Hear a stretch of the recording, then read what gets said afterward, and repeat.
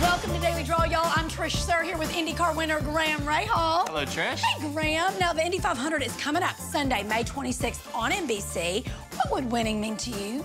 Well, I've dreamt of it since I was a little boy. My dad won this race in 1986. What?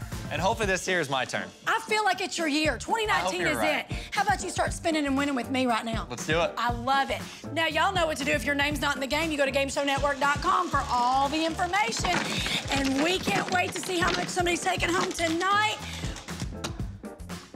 100 bucks. 100 bucks. We love it. I'm digging deep, and we're saying congratulations to Kayla from Holly, is it Holly Hill, South Carolina, watching us on Verizon Fios. Congrats, Kayla. You just won $100, you doll. Now you can follow Graham on Facebook, and we hope everyone's following you on the racetrack. Thanks for having me, Trish. Honey, we are thrilled you were here. Everybody root for Graham and have a great weekend.